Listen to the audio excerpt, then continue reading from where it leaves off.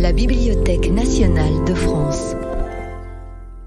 Dans le cadre du cycle Débats au cœur de la science, des experts issus de différentes disciplines scientifiques s'efforcent de lever un voile sur le fonctionnement de notre cerveau, en particulier sur les mécanismes qui sous-tendent nos raisonnements et nos choix supposés rationnels. Bonsoir à toutes et à tous. Excusez-nous pour ce petit retard. Bienvenue en tout cas dans ce petit auditorium de la BNF. Merci euh, à vous tous et toutes qui êtes là, euh, attentifs et attentives. Vous pourrez participer évidemment et poser vos questions à nos intervenants. Merci également à tous ceux et celles qui nous suivent en direct ou en différé sur la chaîne YouTube de la BNF pour ce sixième débat au cœur de la science, le dernier de cette saison Intelligence au pluriel.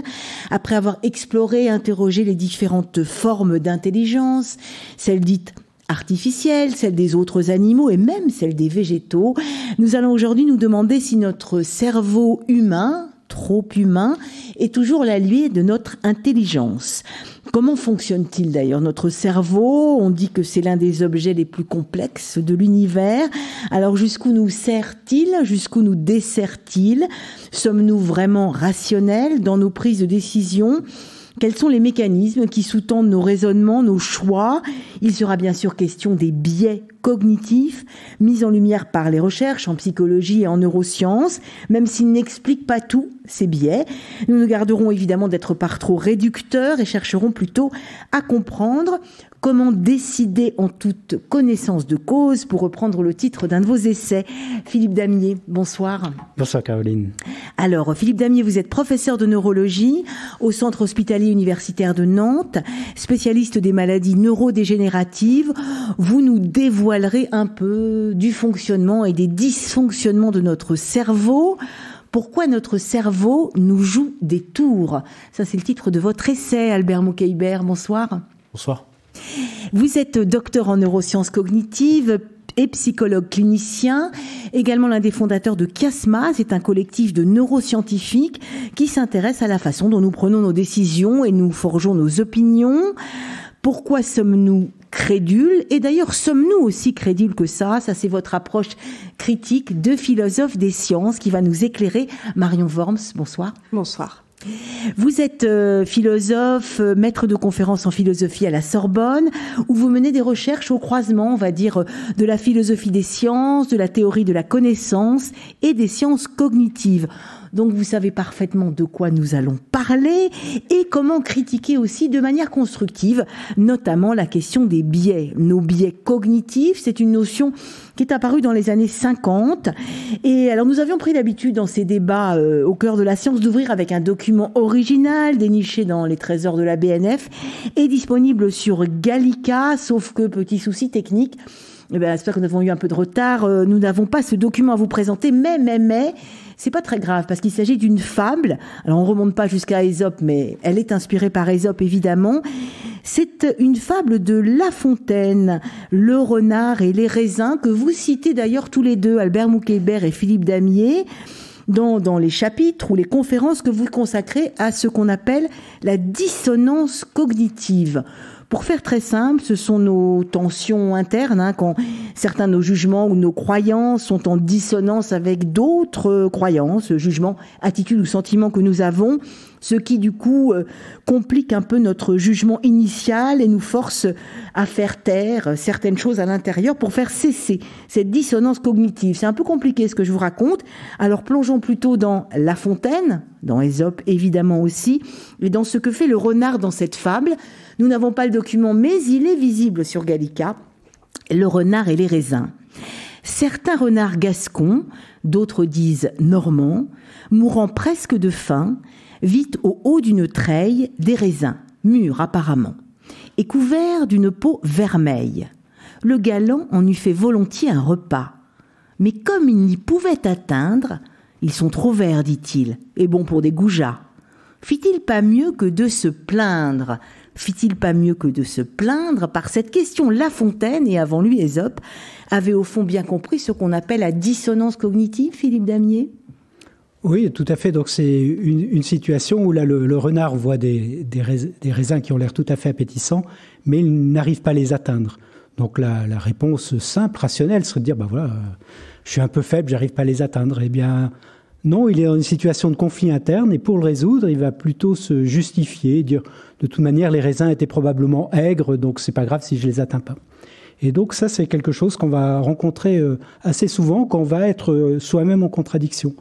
Cette notion de, dissonance cognitive avait été décrite dans les années, euh, à la fin des années 50. D'ailleurs, c'était une, petite secte aux États-Unis où la, maîtresse de la, de secte était une espèce de piti et, avait des visions qui lui étaient envoyées par, des extraterrestres. Et on l'avait informé de la date de la fin du monde. Donc la date de la fin du monde, je ne sais plus quelle était la, date exacte, peut-être qu'Albert se souvient, mais c'était, je crois, on va dire que c'était le 14 novembre 1957, euh, et elle avait des, gens qui la suivaient, etc. Et puis le 14 novembre 1957 arrive et rien ne se passe. Donc on pourrait se dire, ben voilà, la façon rationnelle pour dire, bon, on s'était trompé, on avait cru au, mauvais, au mauvais Dieu, aux mauvaises informations. Mais non, au contraire, ça a renforcé les, les croyances de ce petit groupe. Elle a dit, euh, effectivement, ça n'a pas été la fin du monde aujourd'hui, mais c'est justement parce que nous-mêmes, on croyait très très fort, on a prié très très fort et on a retardé, grâce à nous, euh, la fin du monde pour, euh, pour une date ultérieure. Donc vous voyez, elle était en situation d'inconfort cognitif, en, conflit interne, et pour le résoudre, elle a trouvé de la justification. Donc c'est en, ça qu'on va traiter généralement cette dissonance cognitive par de la justification.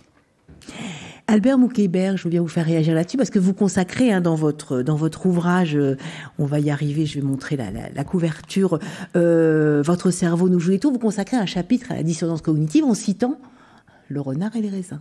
Oui, euh, bonsoir. Merci à tous d'être là. Euh, donc oui, la dissonance cognitive est un peu une, brique très importante dans le fonctionnement de notre psychologie, parce que c'est à travers ça qu'on peut aussi parfois mettre à jour nos, croyances. C'est-à-dire là, ces deux situations qui sont un peu euh, particulières, que ce soit une secte de fin de monde ou le renard et la raisin, mais on, on pratique tous la dissonance cognitive tous les jours et parfois d'une manière qui est tout à fait euh, bonne. Je sais pas, je suis en couple et je me dispute avec la personne avec qui je suis en couple, ou bien elle me trompe, on se sépare. J'ai besoin de réécrire mon passé pour que je puisse aller de l'avant.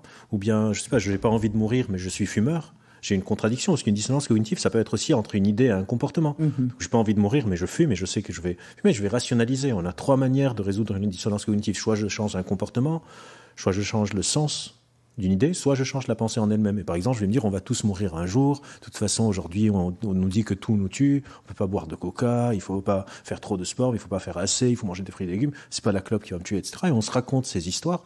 Et c'est une clé, encore une fois, un fonctionnement très particulier de notre psychologie. Et donc, effectivement, j'en parle. Et, et justement, c'est pas quelque chose qui est mauvais. Hein. Non, c'est pas quelque chose. C'est au fond. Mais d'ailleurs, on va pas être dans ce qui est mauvais ou ce qui est bon. On va être dans la manière dont on fonctionne. Et c'est une manière aussi. Pourquoi démarrer sur la dissonance cognitive Vous venez de dire, Albert Moukaïber, qu'on se raconte des histoires, mhm. le fonctionnement de notre cerveau et pourquoi il peut nous jouer des tours. J'aimerais bien que vous, vous reveniez là-dessus. C'est le fait qu'on se raconte tout le temps, toujours des histoires. Oui, notre cerveau fonctionne un peu de manière narrative. Il y a Lionel Nakache euh, qui a publié un livre récemment qui s'appelle Le cinéma intérieur. On fonctionne vraiment comme un cinéma, c'est-à-dire si par exemple certaines personnes ici dans la pièce euh, sont venues euh, en, métro, dans, l'auditorium, si vous réfléchissez à comment vous êtes arrivé là, quand on regarde un film, on a ce qu'on appelle des cotes. On voit le personnage principal monter dans une voiture, puis on cote, puis il arrive, etc. Mais par exemple, si vous imaginez votre trajet de métro, vous êtes sorti de chez vous, vous avez pris le métro ou du boulot, si vous fermez les yeux, dans la rame du métro, il y a des gens, etc. Mais toutes ces personnes, quand vous étiez dans le métro, vous n'étiez pas en train de regarder leur visage, comment ils étaient habillés et tout. Mais c'est juste que vous avez une connaissance que la rame n'était pas vide. votre cerveau va peupler vos souvenirs, vous raconter ces histoires, et on a une sorte de narration. Et, et cette notion de conteur d'histoire, elle fonctionne pour nos opinions, elle fonctionne même pour nos identités. Moi, j'ai quasiment presque 40 ans, j'ai pas des souvenirs de tous les jours de ma vie.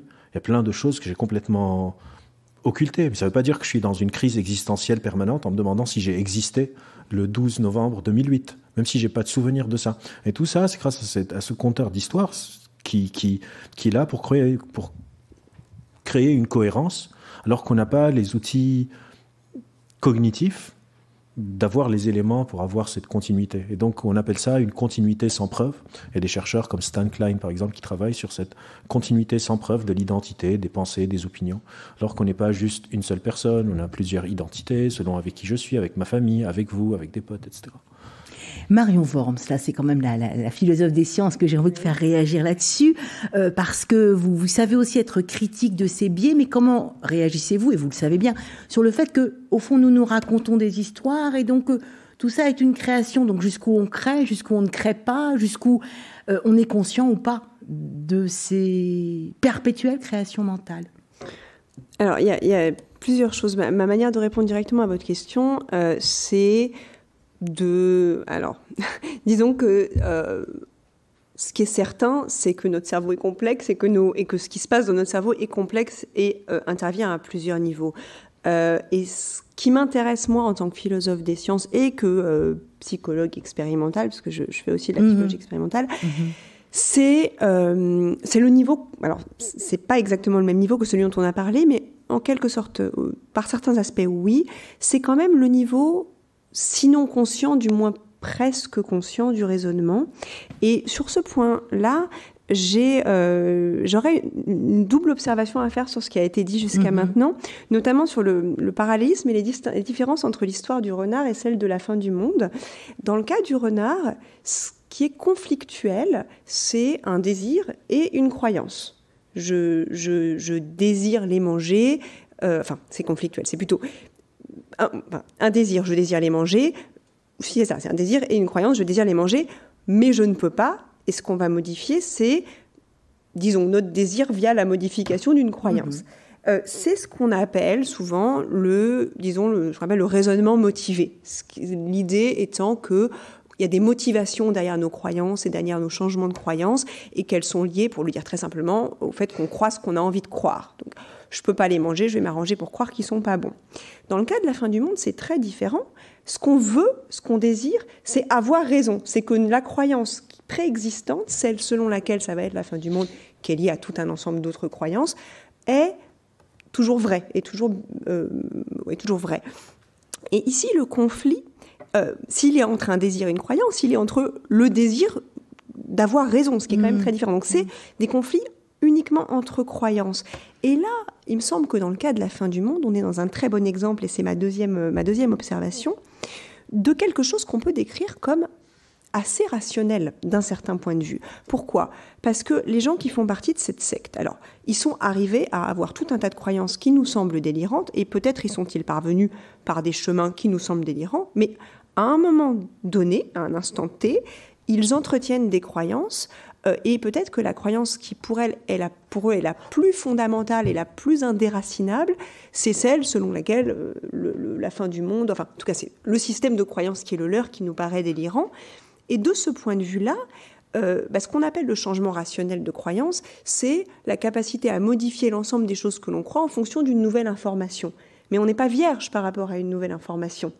si on, on, a totalement confiance en quelqu'un qui vient nous dire quelque chose de délirant, c'est pas complètement déraisonnable de le croire si finalement il serait encore plus fou que cette personne nous mente euh, plutôt que ce qu'il nous raconte soit vrai. Donc en un sens, si leur système est tel que ce qui, ne peut pas être, enfin ce qui peut le moins être mis en doute, c'est un certain, un, un certain noyau, ben, finalement réarranger les choses de sorte à préserver ce noyau n'est pas forcément quelque chose d'irrationnel au sens de euh, une interprétation euh, qui va contre la, contre la logique de, des données. Euh, voilà, c'était la petite observation que je, voulais faire. C'est un petit peu dans cette perspective, entre autres, que j'émets des réserves sur les, explications en termes de, de, biais cognitifs, notamment. Alors, rationnel ou pas rationnel, Philippe Damier? Ah oui, alors c'est justement toujours sur la distance cognitive, il y a certains chercheurs qui ont essayé de, savoir ce qui se passait un petit peu dans le cerveau. Mm-hmm. ils n'avaient pas à l'époque de, de, la secte, là, il n'y avait pas encore l'imagerie, mais par contre, dans les, dans les, au cours des élections euh, présidentielles américaines, euh, ils ont pu travailler sur des, supporters de, candidats. Alors, c'est à l'époque de George W. Bush et Al Gore. Et donc, ils montraient, euh, alors prenons les, les, supporters démocrates, ils montraient Al Gore en train de se contredire, en montrant deux extraits vidéo où il se contredisait, et ils montraient George W. Bush en train de se contredire. Donc, quand vous êtes supporter démocrate et que vous voyez George W. Bush se contredire entre deux épisodes de, vidéos rapportés, ben vous analysez, alors vous détectez le conflit, le cerveau détecte le conflit par une structure qui s'appelle le, le, singulement antérieur, et de façon rationnelle. Donc là, vous montrez qu'ils activaient le cerveau rationnel, le, le, frontal dorsolatéral. Ils disaient, ben voilà, George W. Bush, entre cet extrait et cet extrait, se contredit. Et ce qui est intéressant, c'est quand ils voyaient Al Gore, donc celui qui supportait, se contredire. Donc leur cerveau détectait le, conflit, allumait euh, le, cingulum antérieur, mais par contre, ils allumaient l'amygdale aussi, hein, l'amygdale qui est impliquée dans les émotions. C'est-à-dire qu'ils étaient attaqués sur leurs valeurs. Mmh. Ils avaient peur, c'était leurs valeurs qui étaient attaquées. Et allumant l'amygdale, ils éteignaient, je suis très schématique, mais ils éteignaient la partie rationnelle du cerveau. Ils n'étaient plus dans un raisonnement rationnel et ils disaient mais non, il n'était pas en train vraiment de se contredire et c'est pas tout à fait ce qu'il voulait dire. Et la même chose se passait bien sûr quand les supporters républicains euh, étaient face aux contradictions de, George W. Bush. Donc on peut voir un petit peu au niveau, niveau cérébral ce qui se passe entre rationnel et non rationnel. Un, point qui est très important, c'est que dans, tout ce qu'on a en tête de ce que je pense, je pense, qui je suis, mon histoire, et ça Marion commençait à l'aborder, c'est notre registre conscient. C'est le seul registre du cerveau auquel on a, accès. Mais ce registre conscient, c'est une toute, toute petite part de l'activité de notre cerveau. L'essentiel de l'activité de notre cerveau est complètement automatique. On n'y a pas du tout accès ou on n'y a que très partiellement accès. Et c'est justement là, souvent, à l'interface de je pense être sous contrôle, mais j'ai des choses automatiques dont je n'ai pas complètement conscience qui viennent changer ce que je suis en train de penser, ce que je décide, que vont survenir les fameux biais cognitifs. Et vous parliez aussi, Philippe Damier, là, de, de, l'amygdale, enfin, des émotions qui viennent se surajouter. Quand on pense à cette part inconsciente, enfin, à tout, tout euh, au fond, ce dont on se rend compte dans notre cerveau, c'est vraiment la partie émergée de l'iceberg, minuscule. Est-ce que c'est justement très perturbé, très lié à nos émotions aussi? Enfin, voilà, le cerveau est en lien avec tout ce qui se passe dans le corps. Les, émotions sont un des systèmes qui peuvent être en partie automatiques, qui ont leur rationnel, qui existe bah, sur l'ensemble des espèces animales. Hein c'est un rationnel de, défense euh, contre des dangers potentiellement vitaux. Hein. Si j'ai peur, c'est justement pour me protéger de, dangers potentiels que j'ai vus. Par contre, c'est des peurs que j'ai pu voir, pas forcément à un niveau conscient. Donc je ne peux pas avoir toujours euh, parfaitement conscience euh, de, certains éléments d'alerte que, que j'ai eus. Et j'ai l'impression de prendre un raisonnement rationnel, d'être sous contrôle, et en fait, j'ai des émotions qui viennent éventuellement rendre mon raisonnement non rationnels, c'est les fameux biais cognitifs. Alors au départ, effectivement, les émotions sont utiles, et le plus souvent elles sont utiles, mais parfois elles peuvent nous entraîner dans une direction pas tout à fait rationnelle euh, par rapport à, voilà, aux règles mathématiques qui peuvent, qui peuvent dicter un, choix qui, qui, a à faire entre, entre deux options.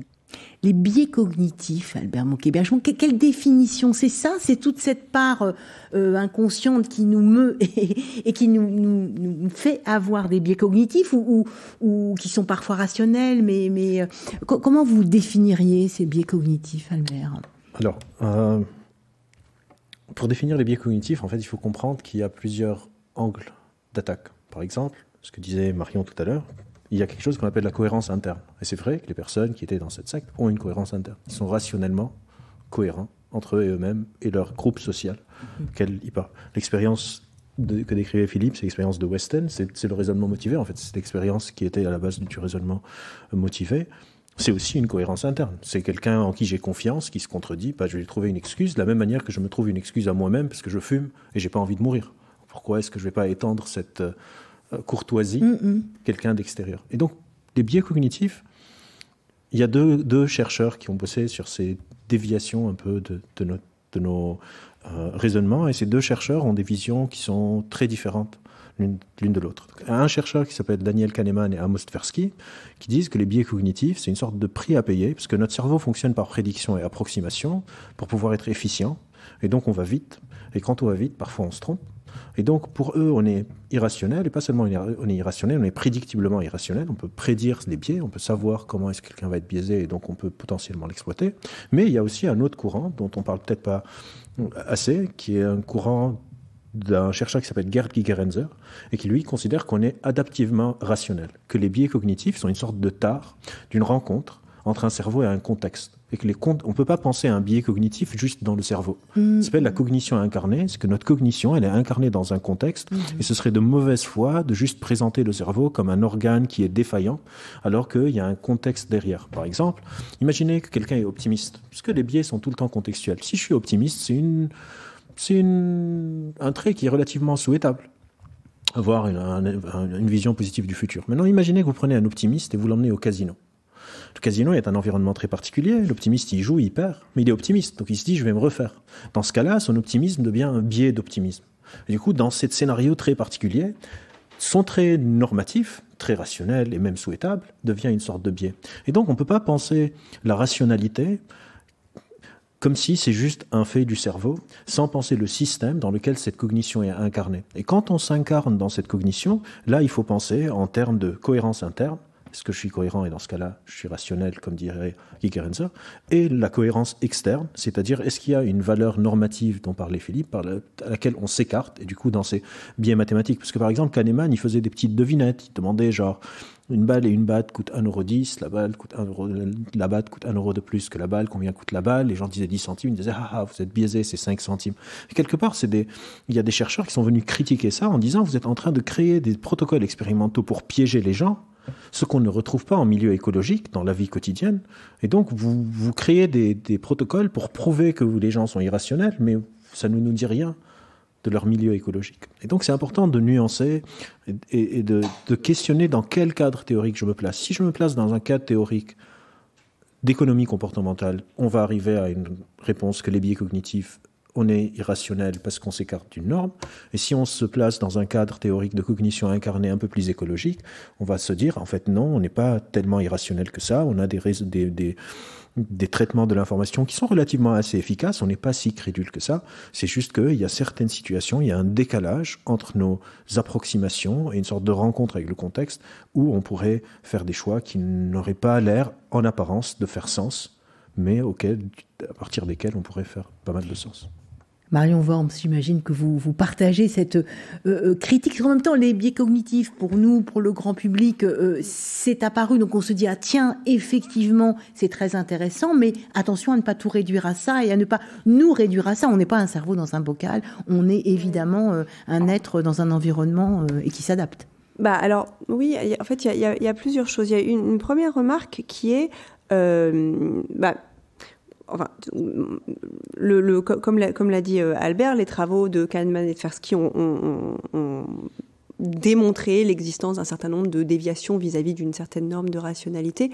Alors, euh, ils sont dans, certaines, situations, euh, et il a dit le mot essentiel qui est la question de la prédictibilité. Pour qu'une notion, disons, pour qu'une un concept scientifique, puisqu'il s'agit ici, les biais cognitifs l'idée est d'en faire un concept scientifique, c'est-à-dire qu'il y a une valeur explicative et unificatrice et, prédictive. Il faut qu'il y ait une, que, ça, que, ait une certaine force euh, prédictive.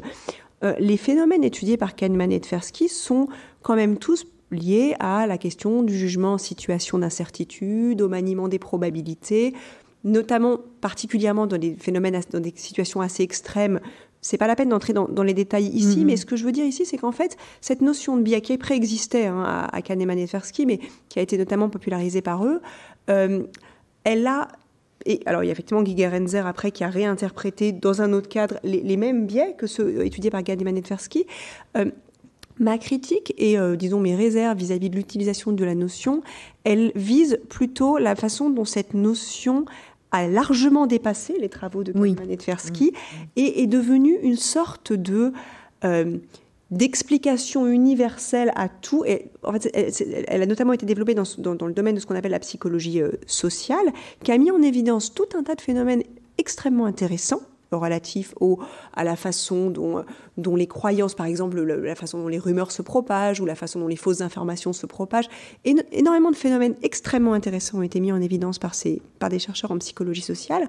En revanche, ce que je remets en doute, c'est euh, ce que je remets en question, c'est le caractère euh, bah, précisément euh, scientifique au sens de unificateur, explicatif et prédictif et systématique de cette notion de biais qui s'est mis à être déclinée au biais d'optimisme répond le biais de pessimisme, au biais de, euh, de, confiance extrême euh, répond un biais inverse. Et on, s'est retrouvé face à une espèce de, bestiaire des biais qui ont plus grand-chose à voir en fait avec les travaux de Kahneman et de et qui sont un peu euh, la vertu dormitive de l'opium de Molière. C'est-à-dire pourquoi dormir Pourquoi l'opium fait dormir? Parce qu'il a une vertu dormitive. Je caricature. Mais dans certaines situations, euh, et c'est encore lié à, cette histoire de, la question de la rationalité que je, que je posais au début. Euh, dans certaines situations, on a des phénomènes qui nous semblent irrationnels. Un exemple étant euh, la, persévérance dans les croyances et ce qu'on appelle par mm. exemple le biais de confirmation. Le fait non seulement qu'on s'accroche aux croyances qu'on a déjà, comme l'exemple de, de, la fin du monde, là, le montrait, mais même que euh, on a tendance à, Il y a une expérience très célèbre de psychologie sociale qui montre que des gens qui partent de croyances différentes, on leur montre les mêmes données, non seulement ils vont pas converger, mais ils vont, les croyances vont se polariser. Donc ça nous semble éminemment irrationnel. Euh, mais expliquer ça en appelant ça un biais, ce que je veux dire, c'est que souvent on utilise la mmh. notion de biais comme un label. Euh, et comme une hypothèse d'irrationalité pour expliquer un phénomène qui nous semble irrationnel. Parce que le cerveau est bien plus complexe que ça. Au, fond, c'est plus complexe que ça, Philippe Damier. Oui, mais alors après, ça a quand même des utilités d'être sensibilisé au biais. Alors sur le biais de confirmation, par exemple, dans un métier, régulièrement, euh, au cours de la visite, à mes internes, je leur dis méfiez-vous du biais de confirmation, parce que le patient, il arrive avec son diagnostic, hmm. il a le diagnostic qui est venu des urgences, et on reste sur le diagnostic, et on prend que les éléments qui confirment le diagnostic, et on ne va pas aller toucher sur la petite chose divergente sur laquelle euh, on, va tomber sur le bon diagnostic, en fait. On va mettre en place, du coup, des systèmes pour, pour contrôler ce, biais de confirmation. La règle de, toujours évoquer trois diagnostics, par exemple, qui est une sécurité. Ça oblige à aller activer, justement, son cerveau plus rationnel pour aller chercher des hypothèses, hypothèses alternatives. Un autre biais où il est intéressant d'en être conscient, qui est très classique, c'est le biais de stéréotype, où on va retrouver les émotions. C'est-à-dire que de par notre histoire évolutive, on a été euh, sélectionné pour être... Euh, dès qu'on identifie une situation de danger, on, active plein de choses pour, euh, pour préparer notre corps à, lutter ou à fuir. Mais ça marche aussi entre les personnes. C'est-à-dire que si je suis face à quelqu'un qui me ressemble beaucoup, qui a la même culture, il parle comme moi, il est habillé comme moi, etc., je suis en pleine confiance, il n'y a rien qui se passe. Mais je, suis face à quelqu'un qui est différent, parce qu'il n'est pas de la même ethnie, parce qu'il parle avec un accent, parce que je sais pas, il n'est pas du tout habillé comme moi. Eh bien, automatiquement, dans mon cerveau, s'allume cette fameuse amygdale et se déclenche le biais de stéréotype. Quand je suis en consultation face à quelqu'un qui me ressemble, je suis en pleine empathie.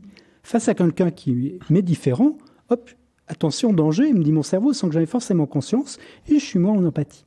Et donc, de savoir que le phénomène existe, régulièrement, je me dis, mais pourquoi là, tu es un peu moins en empathie, moins dans l'écoute? Je dis, ah mais oui, c'est le biais stéréotype, attention. Il faut freiner. Et là, on est obligé de faire une démarche volontaire, de réactiver volontairement sa, partie antérieure du cerveau, son lobe frontal, pour venir réprimer ce phénomène un peu automatique d'alerte qui s'est mis en place. Et on en arrive enfin, à cet ouvrage que vous aviez publié, décidé en toute connaissance de soi et en toute connaissance de cause aussi. C'est-à-dire justement, comment est-ce qu'on fait, comment est-ce que ça peut nous aider de savoir que les biais ne sont pas tout, mais qu'on a des biais, enfin en tout cas qu'on est mu par euh, d'autres choses que la rationalité et par un tas de choses dont on n'a absolument pas conscience. Donc en quoi ça peut aider et, comment est-ce qu'on peut décider justement un peu plus en connaissance de soi?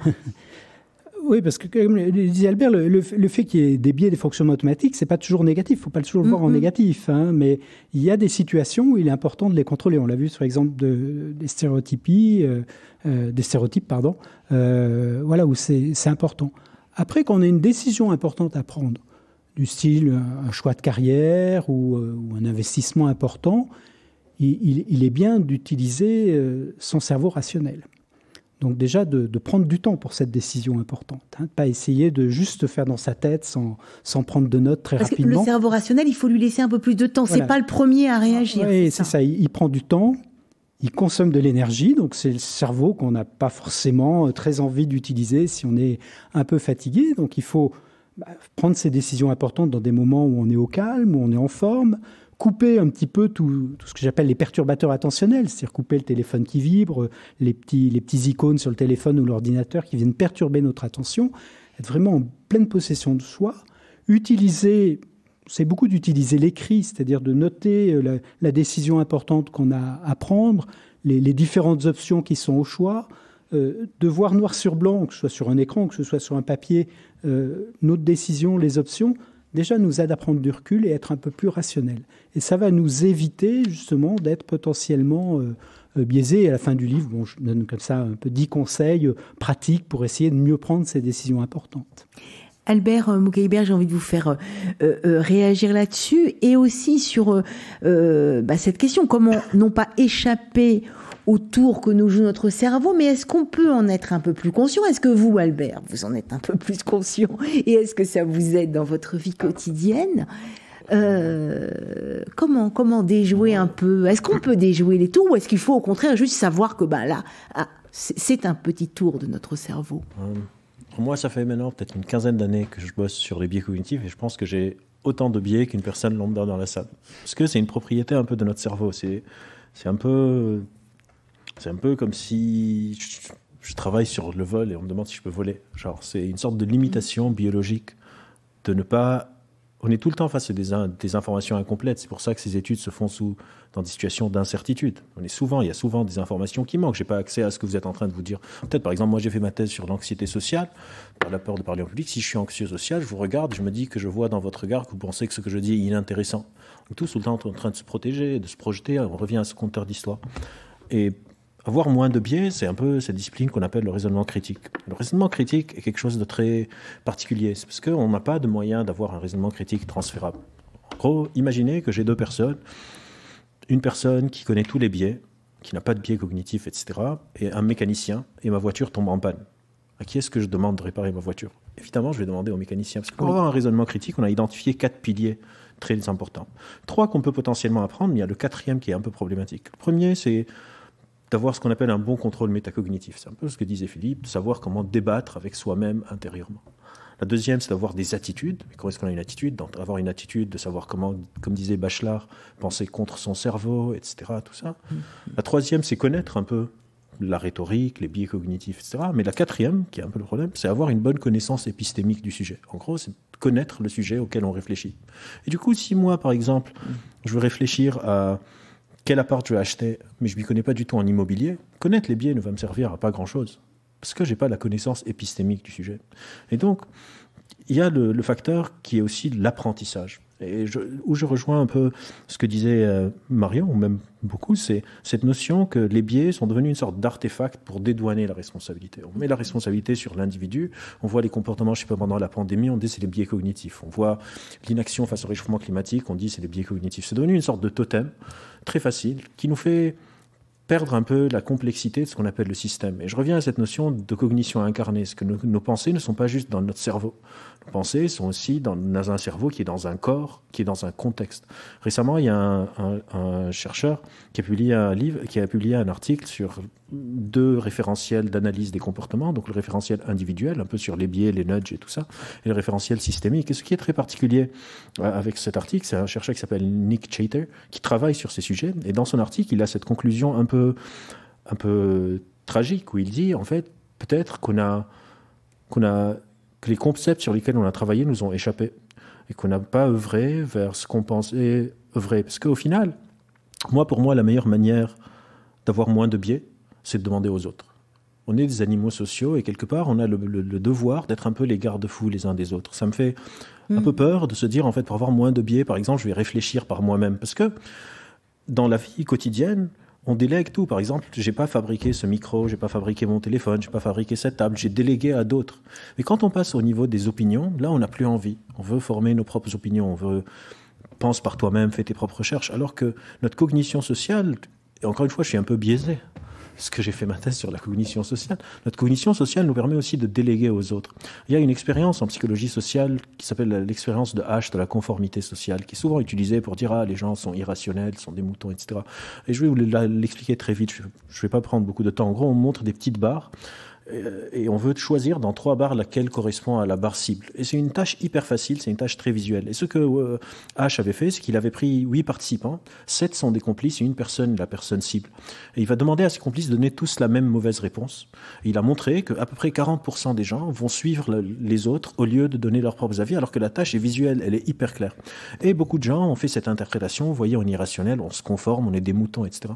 Et quelques années plus tard, parce que c'est ça qui est cool aussi, c'est que parfois on vient contredire, les personnes se sont dit, mais en fait, est-ce que c'est si irrationnel que ça? Si moi, par exemple, mhm. maintenant tout le monde se lève et court, est-ce que c'est pas rationnel que je me lève et je cours aussi?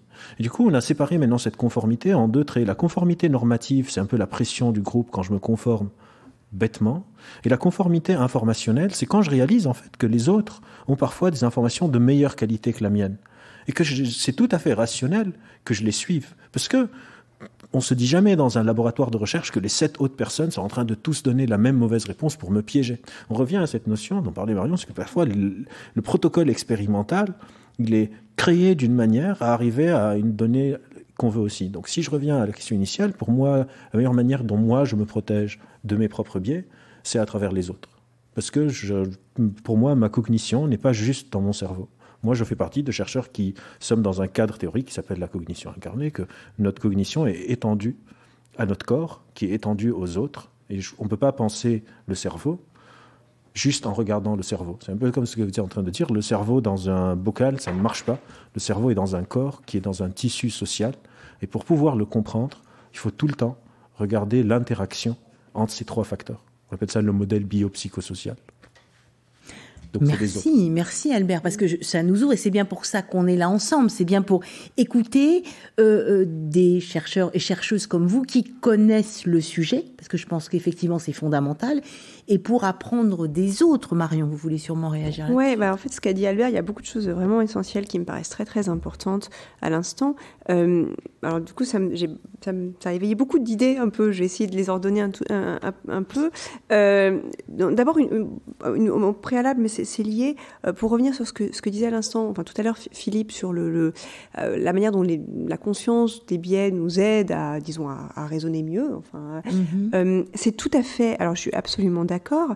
Et euh, ce que je remettais en cause n'était pas tant euh, l'importance de la prise de conscience, du fait par exemple qu'on a tendance bah, à avoir un biais de confirmation, à vouloir toujours, euh, enfin disons à, foncer dans l'hypothèse, la première hypothèse qui nous apparaît et à pas forcément envisager d'autres hypothèses et à pas examiner les données sous un autre angle qui nous permettrait peut-être de conclure autre chose tout ça est euh, non seulement euh, non seulement absolument vrai et, euh, et enfin c'est même une des choses qui, qui m'occupe dans, dans, mes recherches de, réfléchir à ces questions-là et à, et à la question de, l'amélioration de comment se donner des outils pour en quelque sorte mieux raisonner sur les, sur les faits, sur les preuves. En particulier, je travaille par exemple en ce moment sur le, raisonnement des, des juges.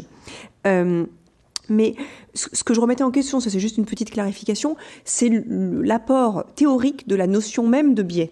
Euh, identifier les phénomènes euh, me paraît évidemment. Alors après, si on appelle ça biais, que c'est pratique pour s'en souvenir, ça c'est sûr que c'est aussi utile. Mais ça, ça suffit pas à en faire une. Disons. Je, ne pas tout enfermer dans des je critiquais plutôt le, le, polymorphisme de la notion que euh, l'existence de ces phénomènes. Bon. D'autre part, ce, phénomène du biais de confirmation, et c'est mon, deuxième point, et, ça va être, ça va m'amener à, à, dire des choses à propos de ce qu'a dit Albert. Euh, euh, ce que je disais quand je disais que c'était pas forcément irrationnel ne remet pas en cause le fait que ça puisse être néfaste. C'est-à-dire, mmh, euh, mmh. oui, j'arrive pour prendre le médecin ou le juge. Alors le juge, il est en plus, il est saisi d'un cas avec où il y a déjà des, on lui apporte déjà quelque chose avec éventuellement un suspect. Enfin, euh, les hypothèses, elles sont, elles sont déjà présentées mmh. et c'est un énorme effort que de se dire, je vais m'abstraire de ça et je vais réfléchir, je vais tout remettre en question, je vais et au fond, le fait d'être biaisé au sens où on n'arrive pas vierge face à une situation où on a déjà des hypothèses, ce qu'on ce que, ce appelle des, des, a priori. Enfin, euh, et, c'est une.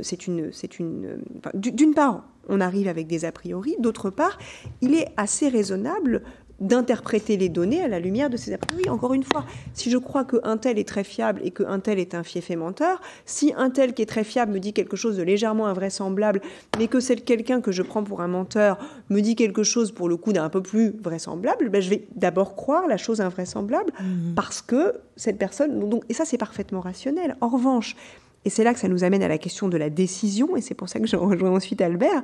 Euh, quand il s'agit de prendre une décision, et en fonction de l'importance de la décision, euh, eh bien, il s'agit de s'abstraire, de prendre un peu conscience de ces a priori qu'on a pour examiner les données à la lumière d'autres a priori et de voir ce que ça donne. Au fond, de le confronter, oui. Le médecin, mm-hmm. ils ont raison de se poser ces questions-là. Inversement, c'est un exemple que je prends souvent. S'il s'agit de savoir si je vais prendre mon parapluie ou pas, je regarde le, je regarde le temps. Peut-être qu'en fait, j'ai envie qu'il pleuve pas, j'ai pas envie de m'encombrer de mon parapluie, je vais me dire il pleut pas. C'est pas très très grave. Donc c'est aussi très dépendant de l'enjeu de la décision, cet effort à faire et cette.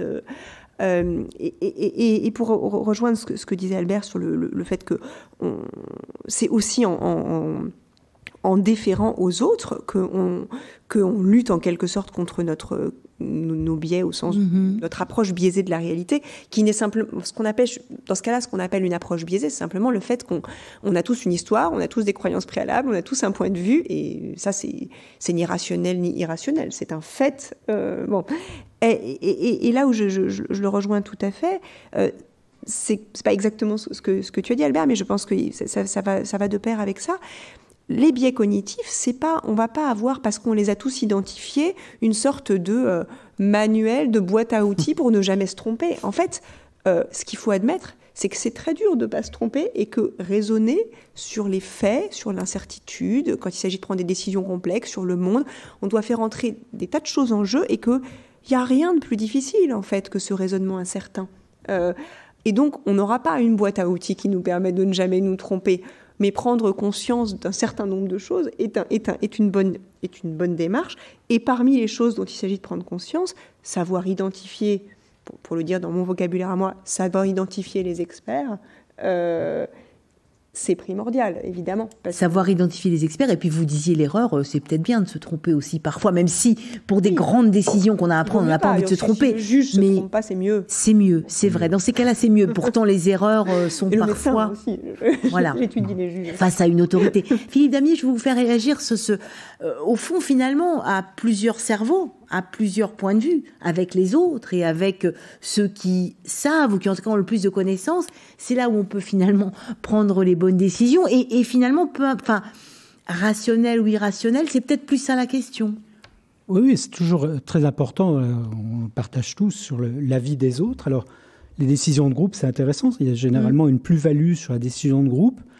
Mais il y a aussi des biais de décision de groupe, hein, avec eh le, le, fameux pensée de groupe, le groupe Think, où euh, la, force du groupe peut faire parfois que euh, on, va euh, taire l'expert va se taire pour rester en cohérence avec le groupe.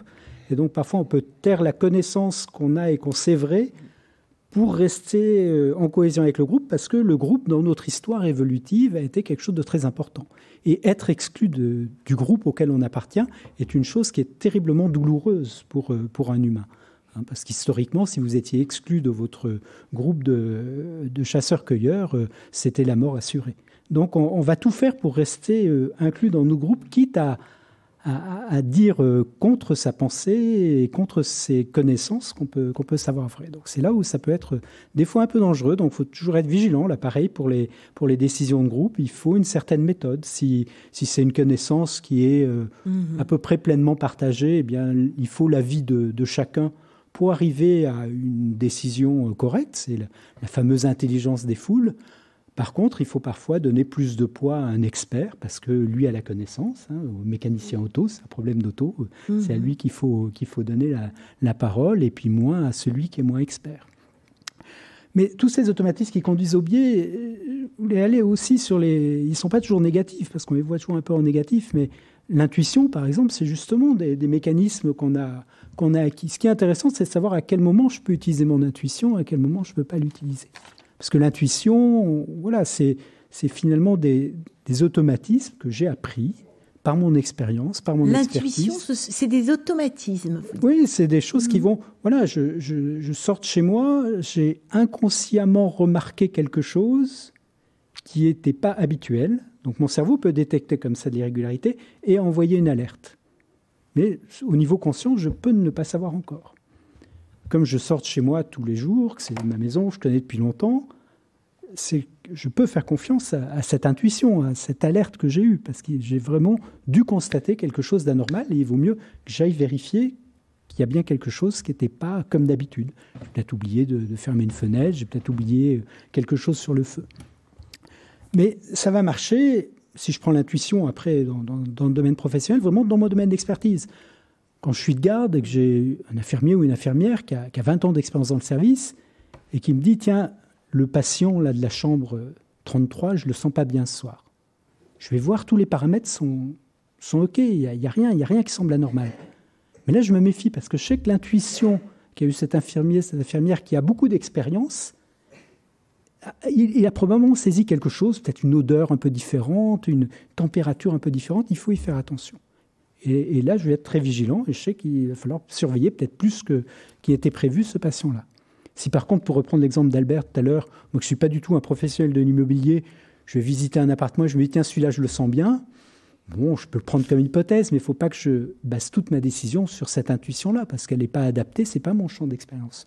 Donc l'intuition, c'est très utile, mais il faut l'adapter, faut l'utiliser dans les contextes où c'est approprié. Sur l'intuition, Albert euh, je vais bien vous faire réagir là-dessus aussi. Oh, je suis complètement d'accord. Si, mhm. par exemple j'ai 20 ans d'expérience de saxophone et vous me dites fais-nous un solo, j'ai besoin de le faire automatiquement. Mais si j'ai jamais joué du jazz, vous me donnez un saxophone et me dites allez Albert, suis ton intuition, je vais vous casser les oreilles. C'est là où on revient à cette notion que les biais sont contextuels. Par exemple, oui, je connais les biais, ça ne m'aide pas particulièrement dans ma vie quotidienne, mais j'ai moins de biais dans un protocole expérimental parce que c'est sur ça que je bosse. Par exemple, j'ai contribué à un article sur les biais dans la prise de décision médicale chez les réanimateurs. Euh, c'est le neurologue réanimateur dans les cas d'attaque cérébrale très graves. Parce qu'il y a certaines situations où, dans certains contextes, si un travail répétitif, récemment j'étais par exemple avec les aiguilleurs du ciel, avec euh, les avocats, avec, etc. Il y a des biais qui, dépendent, vu que c'est contextuel et que ce n'est pas une propriété de notre cerveau uniquement, parce que c'est tout le temps dans un contexte, évidemment on peut mettre en place des checklists par exemple pour qu'un pilote d'avion vérifier à chaque fois, parce que s'il est un jour fatigué, il rate un truc, les conséquences peuvent être désastreuses. Et donc, il y a toutes ces choses qu'on peut mettre autour où on profite de la connaissance accumulée pour pouvoir euh, mieux fonctionner. Et l'intuition, le pilote qui a atterri l'avion euh, sur le Hudson à New York, il n'a pas vraiment réfléchi. Il s'est pas calmé, il n'a pas posé tout, etc. Et c'est là où les biais peuvent aussi être utiles. On a tous des biais cognitifs quotidiens. J'ai ma fille, j'ai besoin d'avoir des biais de confirmation et de sélection et d'être un peu de mauvaise foi pour me dire qu'elle est meilleure que la fille de la voisine. Si je veux dire, je vais être objectif et rationnel et traiter ma fille comme les autres enfants, ça va être très très compliqué de créer de la cohésion sociale, de me dire que mes potes sont plus sympas que les potes des autres, ça va m'aider à créer cette, cohérence. Et effectivement, l'excès peut être problématique parce qu'on rentre dans ces biais d'endogroupes et d'exogroupes, etc. et tout ça. Mais s'il y avait une, s'il y avait une solution universelle, genre on l'aurait trouvé. C'est ça qui est intéressant. C'est ça. Et on est au fond toujours sur le fil entre tout ce qu'on apprend, notre cerveau, à quel point il est capable de d'apprendre. Et on n'a pas donné de définition d'intelligence. C'est le dernier euh, épisode de ce cycle sur les intelligences. Mais euh, euh, les intelligences ou notre intelligence humaine, elle est multiple elle est complexe et elle est liée à tout ce qu'on apprend et aussi à l'adaptation sur le moment. C'est pour ça que c'est toujours sur le fil. L'intelligence, c'est un peu aussi, c'est devenu aussi un mot valise, un peu comme un peu comme la créativité, etc. Est-ce que est-ce qu'on est, est-ce qu'on parle d'intelligence dans le cadre d'une recherche, par exemple, si je travaille sur la créativité dans la recherche, c'est quelque chose. Et quand je parle de la créativité, genre je vais faire un, un, atelier en entreprise pour booster votre créativité ou booster votre recherche, ça devient un peu du marketing. Du coup, il faut aussi faire la part des choses en tout ça, parce que l'intelligence, encore une fois, est-ce que je pense de, mon intelligence ou des autres? Par exemple, il y a un paradoxe en psychologie qui s'appelle le paradoxe de Salomon, c'est qu'on est très bon à donner, donner, des conseils aux autres, on est nul à se donner des conseils à nous-mêmes. Ok, si je suis bon à donner des conseils aux autres, et je suis nul à me donner des conseils à moi-même, est-ce que je suis intelligent ou pas? Ça devient problématique. Et là aussi, on revient à cette notion de connaissance située, c'est-à-dire L'intelligence comme ça, si on parle de l'intelligence, genre le QI, c'est la capacité à faire des rotations mentales dans l'espace. Combien de chiffres est-ce que vous pouvez vous rappeler? C'est un test qui s'appelle le WISC ou la VICE, selon si vous êtes des enfants ou des adultes. C'est des tests hyper standardisés. Le but de ces tests en recherche, c'est de voir où est-ce qu'une personne se place par rapport à une norme pour qu'on puisse faire par exemple des diagnostics différentiels. Est-ce que quelqu'un n'y arrive pas parce qu'il a sa mémoire de travail qui fonctionne pas bien? Ou est-ce que c'est sa compréhension verbale pour voir comment est-ce qu'on va le prendre en charge? Mais quand ça passe au public général, à la population de tout le monde, ben là, on se retrouve dans des applications où le test, c'est pas du tout son boulot de dire si quelqu'un est intelligent ou pas, parce que de toute façon, c'est indexé à la moyenne. Donc, il y a tout le temps ce gap qui existe entre comment un concept utilisé en recherche, par exemple le débat entre Kahneman et Tversky, etc., et comment il va être réutilisé dans la vie publique ou par exemple les biais cognitifs, on parle depuis le début, mais le biais cognitif est aussi très utilisé politiquement pour surresponsabiliser les individus et invisibiliser les systèmes. Donc on va dire c'est la faute de l'individu. Donc par exemple pour lutter, je fais partie d'un labo où on travaille sur le facteur humain pour la lutte contre le réchauffement climatique, et souvent, alors qu'on est tous des chercheurs en sciences cognitives, donc on connaît pas mal les biais, et on a dû signer une tribune avec un collègue pour dire arrêtez de parler des biais parce que on va pas résoudre le réchauffement climatique avec les éco-gestes. Et faire des nudges pour dire ne prenez pas de douche, ne prenez pas de bain, alors que il y a des industries, il y a tout un système euh, de consommation à outrance qui est mis autour. Et donc, il y a aussi il y a un proverbe que j'aime beaucoup qui dit que genre, la connaissance est la fille de son époque. Et donc, il faut prendre en compte aussi le cadre politique et idéologique dans lequel on baigne et comment ces, ces, ces choses sont utilisées dans un monde où, effectivement, il y a beaucoup de surresponsabilisation des individus. Et donc, ça devient comme une sorte, en anglais, on dit weaponization. C'est comme si on utilise une idée, elle devient une arme pour mettre toute la responsabilité sur le cerveau, les biais cognitifs, les neurotransmetteurs, genre vous êtes addict à Facebook à cause de votre dopamine, euh, vous êtes amoureux à cause de votre ocytocine, ou c'est votre striatum qui vous empêche de faire quelque chose pour le climat, etc. Et ça, ça devient une idéologie quasiment politique. On est presque dans du scientisme, mais qui est, qui est un, un peu très lié étroitement à d'autres visions idéologiques du monde. Et c'est important de faire émerger ces cadres idéologiques pour qu'on puisse mieux comprendre le pourquoi du comment on est en train d'avoir ces, ces, lectures différentes d'un même phénomène. Donc pourquoi est-ce que quand Marion dit biais, c'est peut-être pas le même sens que ce que dit, utilise Philippe ou moi, selon d'où est-ce qu'on vient. C'est pour ça que pour moi c'est très important de mettre en avance tout le temps les cadres idéologiques et théoriques et de sortir de cette vision que la science est quelque chose d'objectif et de neutre. Ça n'existe pas ça. C'est une méthode objectivante mais qui est tout le temps coloriée par les valeurs, la morale, l'éthique dans lesquelles on baigne et dont il faut tout le temps parler, tout le temps mettre au, devant quand on réfléchit à ces sujets. Marion, est-ce que vous voulez euh, réagir, compléter, continuer à ouvrir finalement les fenêtres et les plein de, plein de questions Non, non. Euh, enfin, là pour réagir sur quelque chose qui a été dit un petit peu, un petit peu avant sur la question des notamment des, des, points de vue, de la manière dont on aborde, enfin du fait qu'on a chacun une histoire. Enfin, euh, le, le une, manière aussi de, par exemple, de, à mon avis, euh, relative, pas, pas erronée, mais un petit peu impropre d'utiliser la, enfin, en fait, c'est pas là une manière impropre. C'est le vrai sens du mot biais au départ. C'est précisément pas euh, quelque chose, une sorte de, mécanisme qui nous, ou de tendance à, à, commettre une erreur, enfin, disons, à, commettre une forme d'infraction aux, aux, règles de la rationalité systématiquement. C'est le fait quand on dit que quelqu'un est biaisé, ça veut dire qu'il a des a priori qui le font percevoir la situation d'une certaine manière, euh, manquer d'impartialité ou d'objectivité. Et en ce sens, on est tous biaisés, je reviens un petit peu à ce que je disais tout à l'heure, au sens où on a tous euh, une approche euh, qui est informée par nos expériences passées, nos connaissances passées, et dans la mesure où en fait personne n'a un accès direct et et absolue à la, vérité. On a tous un, accès à la réalité qui, se fait sous un certain angle. Euh, et de ce point de vue-là, c'est normal d'être biaisé. Et ce que précisément, pour revenir à la question du, groupe et, du, euh, et de, la, connaissance collective et de la déférence aux autres, ce, que nous apporte euh, cette, question, cette multiplication des points de vue qui est mise à l'œuvre notamment dans la délibération. Alors, ce que Philippe soulignait dans les dérives de, la pensée de groupe, euh, comment dire, la mise en commun euh, des, des, croyances, des connaissances et d'autre part la, déférence à autrui permet aussi euh, cette chose très précieuse qui est la question de l'argumentation et du fait de donner des raisons de ses propres croyances.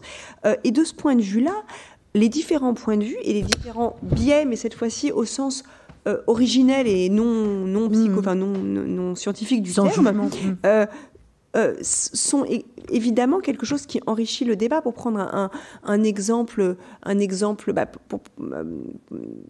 disons qu'il y, y, a la question de, de, de l'expertise, il y a qui est le bon mécanicien, le bon connaisseur de tel ou tel domaine, mais après on est tous aussi, en quelque sorte, expert de certaines petites choses parce qu'on en a une meilleure connaissance que d'autres. Si par exemple vous avez vécu dans une ville que je ne connais pas et nous sommes toutes les deux euh, euh, jurées devant se prononcer sur un cas, une affaire criminelle qui aurait eu lieu dans mhm. cette ville, puis moi je lis la déposition d'un témoin qui mentionne telle rue où elle dit qu'elle se promenait. Euh, euh, à minuit avec une copine. Vous dites, mais en fait, moi je connais cette ville, dans cette rue, on ne se promène pas à minuit avec une copine.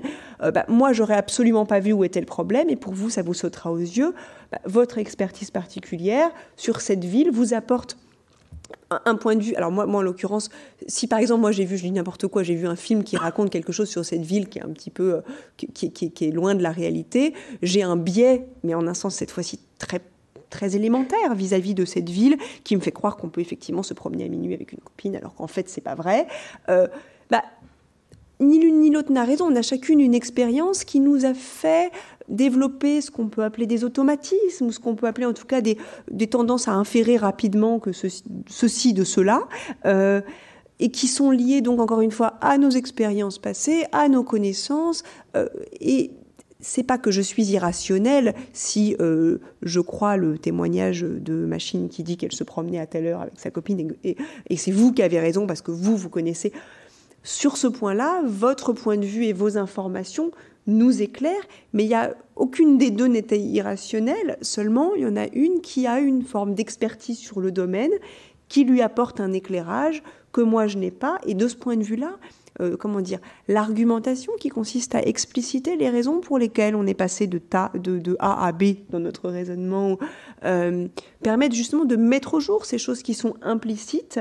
Euh, et de ce point de vue-là, la délibération et, le, et justement le, la mise en commun des, des, oui, des arguments et des croyances est évidemment quelque chose qui doit faire, enfin, en tout cas, est un moyen de progresser vers quelque chose comme plus d'objectivité avec les dérives possibles, évidemment, d'une influence, enfin d'une forme d'influence euh, d'influence néfaste. Mais, Philippe euh, Damier, vous, vous, vous, travaillez sur ces questions aussi euh, avec des, patients, donc vous voyez aussi des vrais dysfonctionnements. Est-ce que vous pensez que le fait de, comprendre ça, de comprendre qu'effectivement la manière dont on fonctionne, qu'on peut s'aider des autres, avec tous les, les, limites, hein, qu'il faut toujours rester sur cette espèce de fil, que, que, que ça, ça peut nous permettre d'être, comment dire, un peu, un peu mieux, un peu mieux ensemble, parce qu'on nos connaissances grandissent énormément. Tout ce que vous avez dit est, fascinant et passionnant, et en même temps, on est dans les fake news, on croule sous les informations, et on on n'arrive pas finalement à,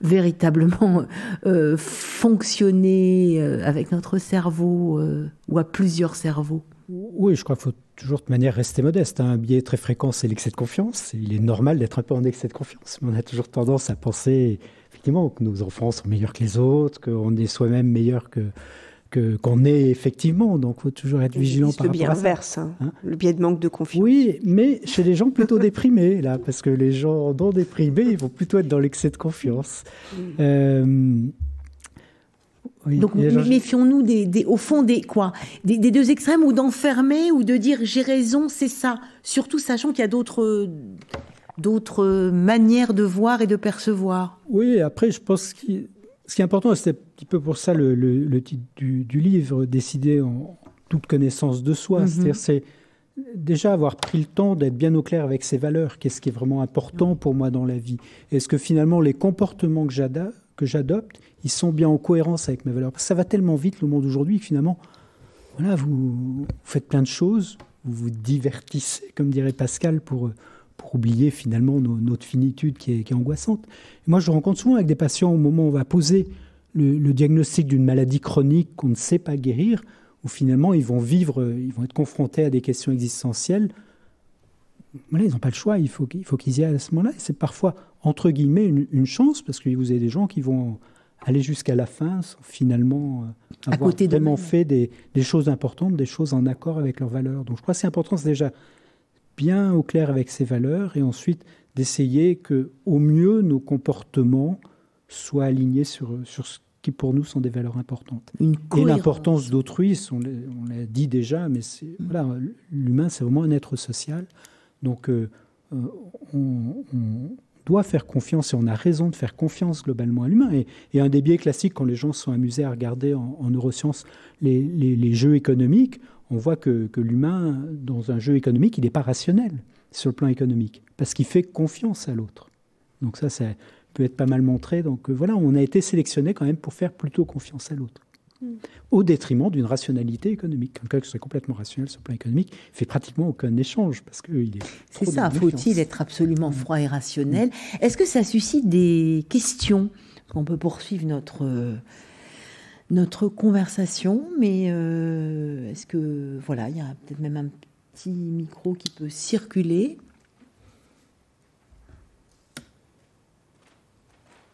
On a parlé cohérence, on a parlé un peu, on continue notre conversation. Ça va peut-être euh, euh, susciter. il y a une question ici, madame. Voilà, monsieur. Euh, oui, j'ai une question au professeur Damier.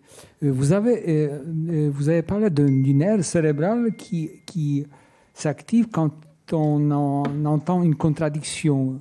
Vous pouvez expliquer quelque chose de plus Oui, alors après, c'est toujours très, très compliqué de, de, d'être réductionniste. Il ne faut pas voir, voilà, il y a l'air qui il y, a, plein de, il y a plein de biais là aussi dans nos, interprétations euh, de, scientifiques. Donc c'est une région qui s'appelle le singulement antérieur, qui est dans la partie avant du cerveau, dans le lobe frontal, un peu de, façon médiale, et qui va s'activer dès lors qu'il y a des situations de conflit. Donc ça peut être je suis en conflit avec moi-même ou, ou j'ai des informations contradictoires qui m'arrivent.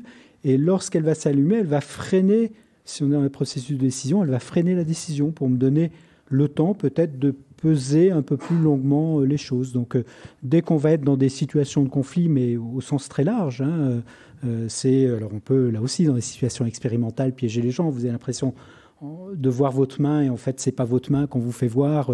Là, on vous met en situation de conflit. Donc ça, le cerveau va le détecter. Ou, là, les, fameux supporters de George Bush qui voient George Bush être en, en contradiction, ben voilà, ils allument, ils ont détecté une contradiction. Donc euh, voilà, il y a des airs qui peuvent être associés à ça. Alors ça ne veut pas dire que c'est là que c'est le, centre de la contradiction. C'est un des réseaux importants qui est impliqué quand il y a de la contradiction. D'accord, merci. Autre question? Sinon, on peut aussi poursuivre. Ah, je vois qu'il y a une question. Madame au fond aussi. Je Madame ici. Là et là. au fond là.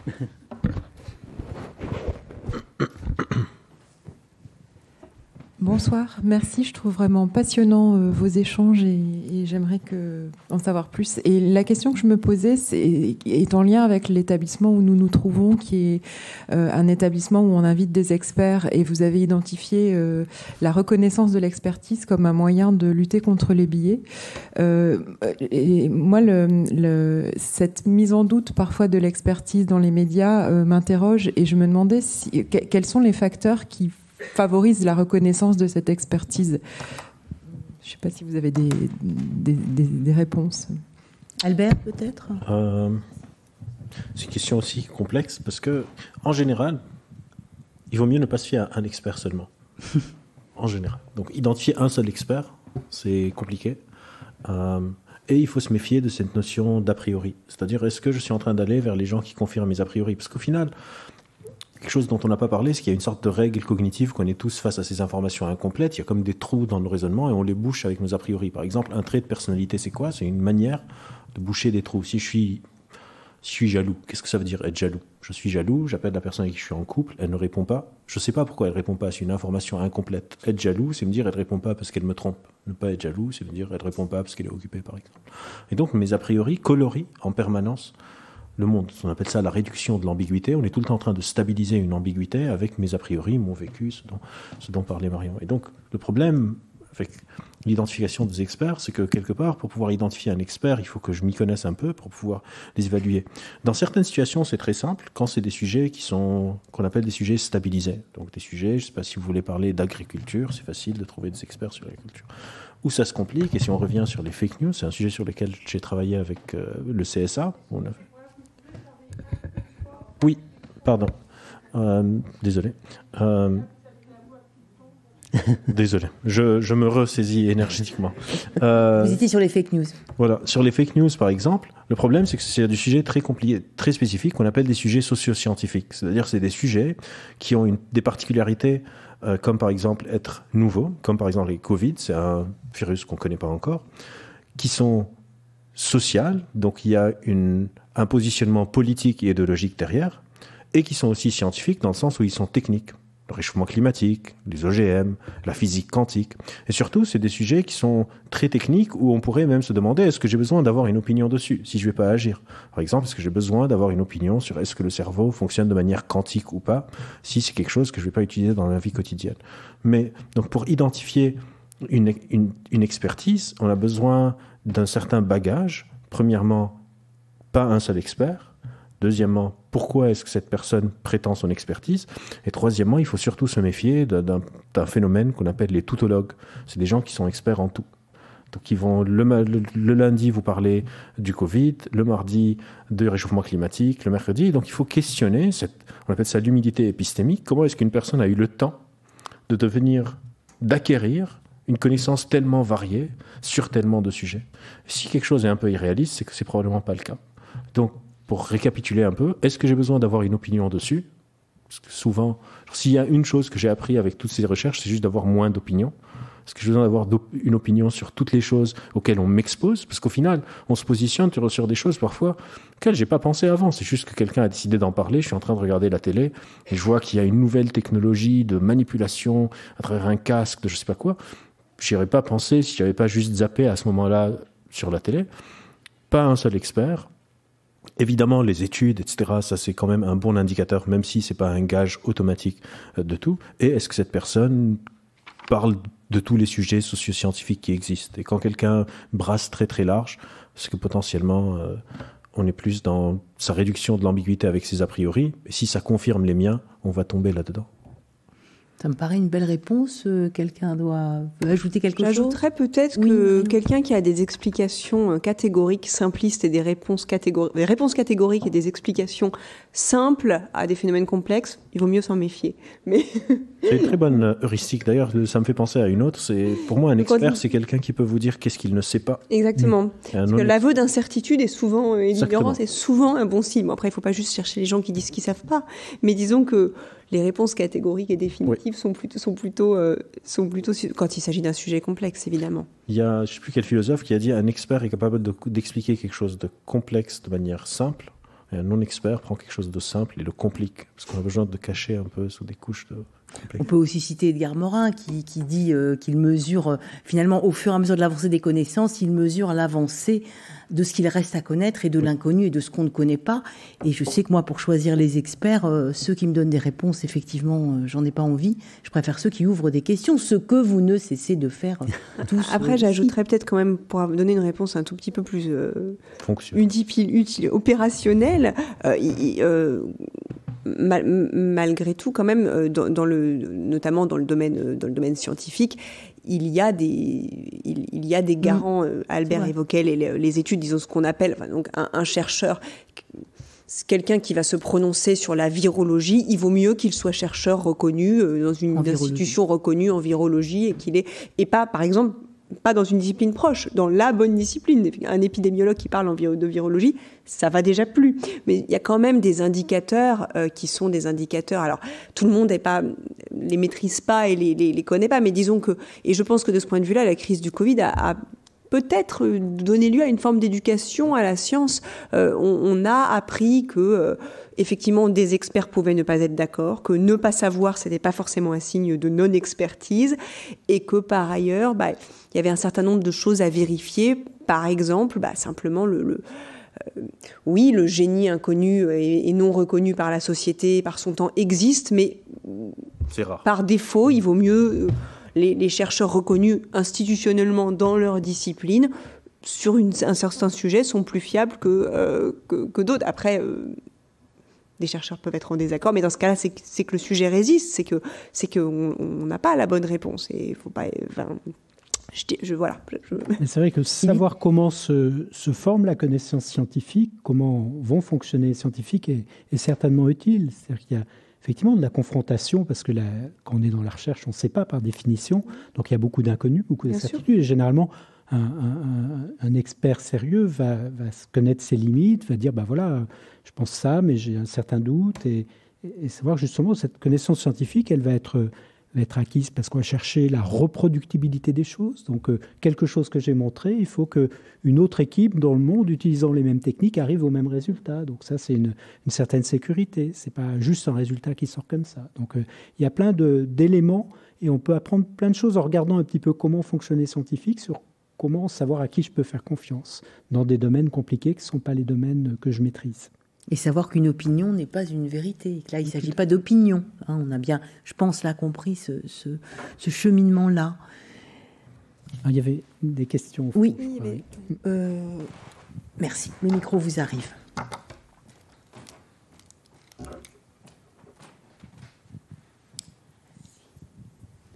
Bonsoir. Bonsoir. Alors, euh, voilà ce que j'ai compris de, bah, de votre euh, exposé sur le cerveau. Donc c'est le travail de plusieurs années qui devient une cohérence d'une cognition incarnée. Donc la cohérence, c'est-à-dire que le cerveau finalement engendre une cognition incarnée de tout ce qu'on apprend au quotidien, c'est-à-dire que celui qui est psychologue et qui n'utilise que la psychologie va être dans une euh, cognition incarnée d'une psychologie euh, sociale ou cognitive ou de tout ce qu'il apprend, de tout ce qu'il engendre? Euh, Albert. Oui, non, non, la cognition incarnée, c'est juste que nos pensées dépendent aussi de notre corps et de notre environnement. C'est juste par exemple, si je suis fatigué, c'est mon corps, c'est pas mon cerveau, je suis fatigué, je vais être plus irritable. L'état de mon corps impacte mes, mes pensées. Si je suis avec un groupe de potes, je vais parler plus librement que je suis avec un groupe de pas potes, par exemple. Le contexte dans lequel je suis module mes pensées, c'est juste ça. Mais la, la, question, est-ce que vous pouvez reformuler la question? Je n'ai pas très bien compris. D'accord. Alors pour moi, pour avoir une cohérence, c'est-à-dire euh, ce dont on parle du cerveau, la rationalité, c'est avoir une expérience de plusieurs années dans le même domaine, et finalement, le cerveau devient une cognition incarnée de euh, ces acquisitions. Je pense qu'il y a deux, niveaux là sur ce que que que, euh, que, vous mettez ensemble. Je pense que d'une part, Albert. En fait, l'expertise aide à avoir une bonne connaissance épistémique d'un sujet, à maîtriser un sujet. Et la cognition incarnée, c'est autre chose. On, est tous, notre cognition est tout le temps incarnée, c'est-à-dire notre cognition est inscrite dans un cerveau qui est dans un corps, qui est dans un contexte. Mais l'expertise, c'est pas pour la cohérence. L'expertise, c'est pour l'apprentissage quelque part. C'est au travers de plusieurs années qu'on peut arriver à évaluer, par exemple, tout ce qu'on ne sait pas. Si par exemple je regarde une vidéo YouTube de une heure sur la physique quantique, je vais être en ce qu'on appelle une illusion de connaissance. Je vais me dire, ça y est, j'ai compris. Mais si je me dis, c'est génial, et donc je vais me plonger encore plus dedans, c'est au fur et à mesure que j'acquiers cette connaissance que je vais réaliser en fait qu'il y a beaucoup de choses que je ne comprends pas et que ma connaissance était un peu une compréhension naïve dans le mot, dans le sens du mot vraiment très littéral de cette connaissance. Et avec le temps, je vais commencer à pouvoir évaluer ce qu'on ne sait pas. C'est pour ça qu'on disait tout à l'heure qu'un expert, c'est pas juste quelqu'un qui peut dire ce qu'il sait, quelqu'un qui peut aussi délimiter les limites de, son savoir. Quand par exemple on dit sur les biais on n'est pas d'accord sur leur nature, etc., c'est parce qu'on sait qu'il y a cette limite de la connaissance. En sachant que les gens qui ne sont pas d'accord sont quand même d'accord sur 99% du fonctionnement du corps. On est tous d'accord sur comment fonctionnent les neurones, les synapses, les neurotransmetteurs, etc. Mais il y a ce détail sur lequel on n'est pas d'accord. La cognition incarnée, c'est quelque chose dans lequel on est tous. C'est juste cette notion que nos pensées ne sont pas juste dans notre cerveau détachées de notre état physiologique et de notre contexte. Soit ça peut être social, mais aussi ça peut être la température, s'il fait froid, s'il fait chaud, si euh, euh, je suis dans une forêt ou si je suis dans un lit douillet. Tous ces facteurs vont influencer mes cognitions autant que mon côté psychologique, cette discussion interne, ces métacognitions avec lesquelles je discute. Et, la cohérence, je pense, hein, Philippe, dont vous parliez, était une cohérence interne par rapport à entre ce qu'on pense, euh, ce qu'on vit et, essayer peut-être de limiter un peu les, les, incohérences, nos propres incohérences entre ce qu'on pense, ce qu'on croit, ce avec quoi on agit, si on croit les autres ou pas. Philippe, je pense que c'était ça. ça, vous, ça vous va? Que monsieur a une question. Bonsoir. Merci pour vos interventions. Alors moi, je voudrais simplement savoir si il a été prouvé qu'il y a une relation entre la génétique et l'intelligence. Est-ce qu'on est, est-ce qu'il y a une inégalité euh, génétique selon qu'on soit euh, d'une euh, d'une ethnie ou une autre? Alors, il y a déjà la, question qui, avait été abordée en, introduction par Corinne, c'est savoir, qu'est-ce qu'on appelle l'intelligence. Hein? C'est-à-dire si c'est l'intelligence définie par le QI, par etc. c'est généralement là-dessus qu'on fait parce que c'est simple, on peut avoir un résultat quantitatif. On, peut montrer que effectivement il y a des gènes qui vont être explicatif d'un certain type d'intelligence. Il, y a une expérience qui est très intéressante. C'est-à-dire qu'on on regarde donc le, génome des, deux parents. Et donc vous savez que vous avez la moitié de vos gènes, vous les avez de votre père, et la moitié de vos gènes de votre mère. Alors, dans les gènes que vous avez hérités de chacun de vos parents, ils vont jouer un petit rôle dans l'intelligence que vous avez acquis. Si je prends l'intelligence mesurée par le QI, hein, qui est une des formes d'intelligence, c'est loin d'être toutes les autres intelligences. Mais maintenant, il y a des chercheurs qui ont regardé les gènes de vos parents qui ne vous ont pas été transmis. Hein, c'est-à-dire qu'il y a la moitié des gènes de votre père, la moitié des gènes de votre mère que vous n'avez pas eu, vous. Eh bien, ces gènes-là ont une, une, importance sur ce qui est devenu votre intelligence qui est tout aussi forte, si ce n'est même plus forte que les gènes que vous avez reçus.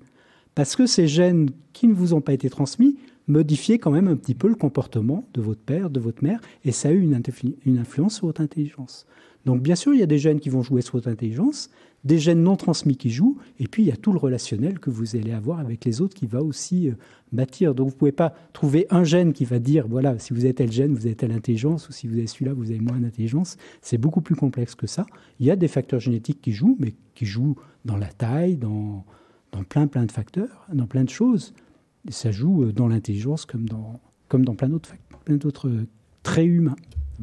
Rappelons peut-être aussi le côté très plastique du cerveau qui, sûr, qui progresse en permanence, qui progresse en permanence, qui, qui change, qui évolue en permanence. Mais une plasticité qui est très très importante dans les, les tout premiers temps de vie. C'est pour ça que c'est la, la, petite enfance et qu'il est, il est important d'investir dans les, les fameux 1000 premiers jours parce qu'on sait que ce qui se passe là, c'est souvent gravé de façon très très forte. Alors après, ça peut être encore modifié, bien sûr, et tout au long de sa vie, notre cerveau va se modifier votre cerveau euh, ce soir sera plus le même qu'il était quand vous êtes entré dans la salle, parce qu'il y a eu de l'interaction, il y a eu des informations, vous en avez récupéré quelques-unes, pas toutes, bien sûr, personne n'a récupéré tout, mais certaines qui vous ont touché, et ça va modifier certaines connexions dans votre cerveau. Et en permanence, notre cerveau, notre cerveau bouge comme ça. Et surtout, si je rajoute quelque chose, c'est que les tests d'intelligence ont été développés pour une certaine population. Et du mhm. coup, c'est un peu un peu de la triche si on va aller tester d'autres personnes qui, mm. pour qui ces tests n'ont pas été développés et puis les comparer. Et donc, là, vous prenez des, dans les études comparatives entre populations du niveau d'intelligence. Le test du QI a été développé en Europe et aux États-Unis. Mm. Je peux aller le donner à un Brésilien et dire regarde, tu échoues moins, donc tu es moins intelligent. Surtout que voilà, les, enfants, euh, euh, si on prend les enfants des catégories euh, socio-professionnels plus élevés, ben, à la maison, ils vont déjà avoir fait des, choses qui les préparent pour les tests, quelque part. Hein. Voire les parents les entraînent même avant d'aller passer les tests, parce que c'est bien si on trouve qu'il a un QI qui est meilleur que les autres. Mais voilà, c'est le fait d'un entraînement, souvent. C'est le fait d'un contexte culturel qui fait que, voilà, de savoir dans quelle roue, dans quel sens va tourner euh, la roue dans les choses compliquées, c'est une certaine forme d'intelligence. Mais vous prenez cet enfant, vous le mettez au milieu de la forêt en Amazonie, il ne va pas vivre très très longtemps. Hein. Donc il a une intelligence qui n'est pas du tout adaptée si vous le mettez dans un autre milieu. Donc euh, ça mesure une intelligence très particulière, le QI, mais c'est qu'une forme bien spécifique d'intelligence. Ça met de côté tout ce qui est créativité, tout ce qui est intelligence sociale, et c'est pourtant majeur, tout ce qui est intelligence adaptative, c'est-à-dire être capable de s'adapter. Vous pouvez être très très bon euh, sur les tests de QI, être incapable de vous adapter à des situations changeantes intelligence avec un S. Et je crois que d'ailleurs, dans aucune des conférences, on a réussi à définir véritablement l'intelligence. Et c'est peut-être tant mieux, justement, pour répondre aussi à la question de madame. Peut-être que il faut laisser ouvert et en point d'interrogation, même s'il y a bien sûr des, des, certitudes sur lesquelles on peut s'appuyer. Mais, euh, mais je pense que oui, ouvrir, euh, c'est en tout cas ce que vous avez essayé de faire tous les trois, d'ouvrir les, les portes et les fenêtres. Est-ce que euh, il nous reste un tout petit peu de temps, donc on peut encore. Voilà, je vois qu'il y a une question. Monsieur. Monsieur et madame. Le micro vous arrive. Oui, bonsoir. Euh, je voudrais savoir si le niveau d'activité du cerveau peut jouer un rôle dans, la conscience, dans la levée des biais. Je m'explique. Quand je vais courir euh, avec une certaine intensité, sans que j'y pense particulièrement, j'ai des solutions qui, émergent euh, auxquelles je, n'avais absolument pas pensé.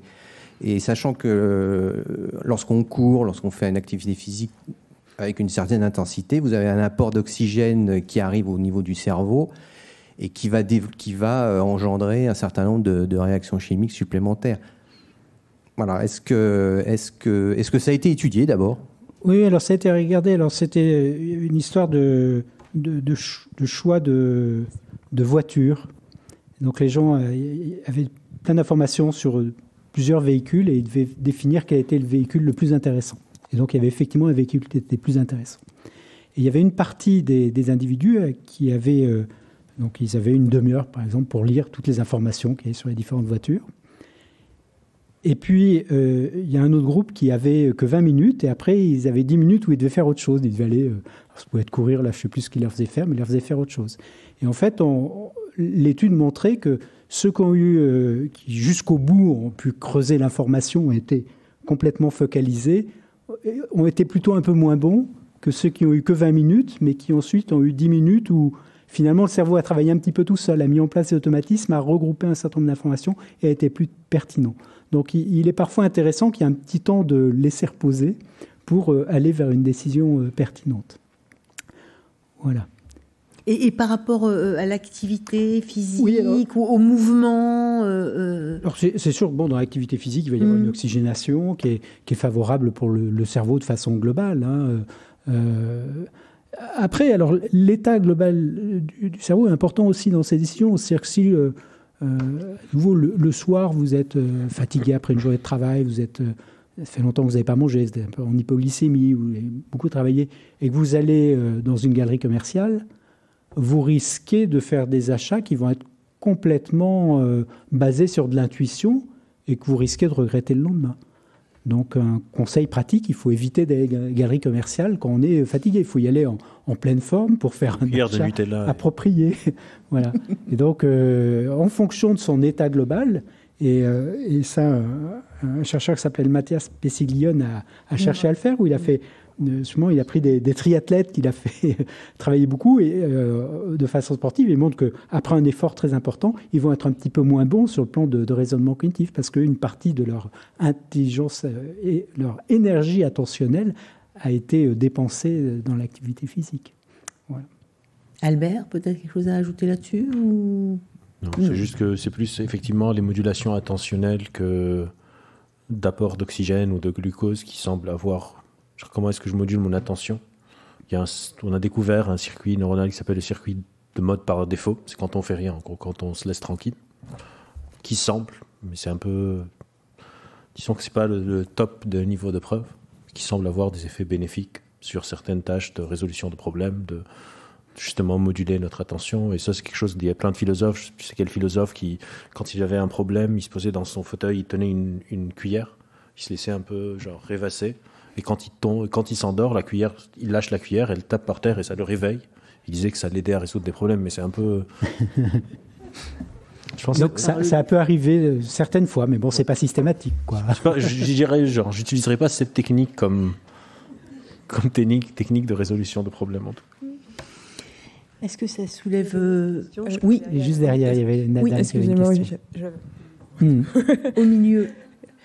Euh, j'avais une question autour de euh, la surconfiance que vous avez évoqué. L'excès de confiance, oui. Ouais, L'excès de confiance. Mm. Et euh, il y a un concept, l'effet Dunning-Kruger. Donc je voulais avoir un peu votre avis sur ce sujet parce qu'effectivement, enfin, du coup, c'est lié à la surconfiance de ce que j'en sais. Et parallèlement, on a des gens qui sont intelligents et qui manquent de confiance. Donc je voulais aussi ben, avoir votre avis sur le sujet. Qu'est-ce qui explique aussi ce, ce biais? Ce biais-là. Comprendre un petit peu plus le, concept autour de ça. Euh, je sais pas si. Alors déjà, l'effet de Dunning-Kruger aujourd'hui, il est un peu mis à mal. C'est peut-être un artefact statistique, comme quoi parfois on change, donc on n'est plus vraiment sûr qu'il existe. Donc on revient à ce que disait Marion. Par contre, on a plein d'effets qu'on appelle des biais de surconfiance. Par exemple, il y a une, un truc une étude que j'aime beaucoup qui parle d'un effet qui s'appelle l'illusion de la profondeur explicative. C'est qu'on a tendance à surestimer combien on pense que quelque chose fonctionne. Par exemple, on demande à quelqu'un Est-ce que tu sais comment fonctionne ton frigo? Je dis Oui, bien sûr, je sais comment fonctionne un frigo, je l'utilise tous les jours. Est-ce que tu peux l'expliquer? Ça devient compliqué. Et pourquoi est-ce qu'on a ces biais de surconfiance? Parce qu'on a aussi des biais de sous-confiance. En fait, ça dépend du sujet et on revient à la notion qu'on a que Marion avait présentée en tout début de la conférence, qui est aussi un peu le raisonnement motivé. C'est-à-dire, est-ce que quelque part, j'ai une sorte de propensité à surestimer cette connaissance sur ce sujet particulier. Et plein de fois, dans certaines situations, quelqu'un peut avoir une surconfiance et dans d'autres être complètement en manque de confiance en soi. Donc c'est pas quelque chose qui est général aussi de la personne. Et pourquoi est-ce que les experts sont plus précautionneux? Pour des raisons dont on a parlé, c'est que quand on est un peu expert, on a plus tendance à connaître les nuances, donc on va être un peu plus prudent. Alors que si je m'y connais pas beaucoup et si j'ai un coup de raisonnement motivé qui soit modulé par le fait, par des motivations sociales, par des motivations, euh, je sais pas, par exemple, je suis à la télé et on me pose une question sur un sujet dans, dans lequel je suis pas nécessairement un expert et euh, par exemple, il y a plein de, philosophes euh, euh, hyper médiatiques. On leur posait des questions sur la Covid. Par exemple, Michel Onfray, je ne sais pas si vous avez vu ça, il a dit oui, la Covid-19, mais il y a eu 18 avant. Alors que Covid-19, c'est parce que ça a été arrivé en 2019. Pourquoi est-ce qu'il a fait ça? Parce que quelque part, euh, il, voulait dire quelque chose. Il veut meubler. en général, quand on meuble, ça se passe pas très très très bien. Alors que si quelqu'un s'y connaît, genre un virologue, il sait que Covid-19, il n'y en a pas eu 18 avant, il va pas le dire et il va être un peu plus précautionneux parce qu'il réalise les limites de la connaissance actuelle. On va prendre une dernière question. Euh, euh, ça rejoint un peu le, même sujet, c'est l'excès d'informations. Est-ce que dans, nos, dans des sociétés comme la nôtre, où il y a beaucoup de fausses informations, euh, un peu n'importe quoi qui circule sur YouTube, sur les réseaux sociaux, donc il n'y a pas de plus en plus quand même de comportements irrationnels avec euh, des addictions, des achats compulsifs. J'ai vu euh, aujourd'hui un reportage justement sur tous les médicaments euh, détox, donc qui coûtent une fortune. Les gens en achètent plein, alors qu'en fait, les, vrais scientifiques, enfin personne, ça n'a jamais, on n'a jamais prouvé leur bienfait, mais il y a toujours des faux experts qui disent que c'est miraculeux, voilà. C'est vrai qu'on est, qu'on est inondé d'informations aujourd'hui, hein, et et euh, bon, notre, l'histoire évolutive de Sapiens, elle n'est pas si longue que ça, donc probablement qu'on n'est pas encore complètement adapté à, traiter autant d'informations. Et à la fois, ça génère beaucoup de, fatigue attentionnelle qui peut du coup nous faire prendre de mauvaises décisions. Euh, après, voilà, notre espèce va s'y adapter, hein. mais il faut peut-être encore quelques dizaines de milliers d'années ou plus. Oh bah c'est tout, juste quelques dizaines de milliers d'années. Euh, Albert, pour conclure peut-être. Je suis pas sûr que c'est juste la quantité d'informations, parce que par exemple, quand on était chasseur-cueilleur, on n'avait pas d'écriture, il fallait tout retenir. Hmm. Où est-ce que je peux trouver, où est-ce que je peux aller chasser, où est-ce qu'il y a un cours d'eau, etc. Et donc, traiter beaucoup d'informations, c'est pas très grave. C'est surtout ce problème attentionnel de la diversification des sujets et aussi combien on peut toucher d'humain. C'est-à-dire vendre des produits miracles, ça a toujours existé. C'est juste que si moi j'avais euh, une huile miraculeuse dans les années 1500 qui peut euh, guérir toutes les maladies, je peux la vendre dans une ville, deux villes, trois villes, parce que je ne peux pas aller, je sais pas, sur mon cheval et aller euh, en Afrique du Sud alors que j'habite en Suisse. Avec Internet, c'est juste cette explosion, cette réduction, et donc on peut toucher beaucoup plus de gens, et il y a des effets de mimétisme qui vont se créer, et donc c'est plus la taille de ces phénomènes plutôt que c'est leur nature qui a changé avec les avancées technologiques. Mais la nature, par exemple, les fake news, on a trouvé des fake news du temps de Cléopâtre. C'est juste qu'elles n'étaient pas unifiées sur toute la planète, alors qu'aujourd'hui, une fake news peut démarrer au Brésil, et on peut la retrouver deux semaines plus tard en Mongolie. C'est ça qui est un peu différent. Encore une fois, si le coût d'entrée, parce qu'il y a tout le temps un coût d'entrée à une information, donc par rapport à mes a priori, combien est-ce que c'est facile de faire intégrer cette idée dans mon modèle du monde? On est tout le temps, en tant qu'espèce humaine, dans une compétition pour expliquer le monde. du coup, il y a des explications qui sont plus facilement acceptables que d'autres, selon mes a priori. Et les gens qui vont développer ces fake news, ils savent un peu qui cibler avec des choses qui vont avoir un coût d'entrée qui est bas. Et il y a une asymétrie argumentative entre les histoires on n'est pas à armes égales sur tous les sujets. Et donc, il y a tous ces facteurs qui font que le phénomène est juste différent en taille, mais pas nécessairement en nature.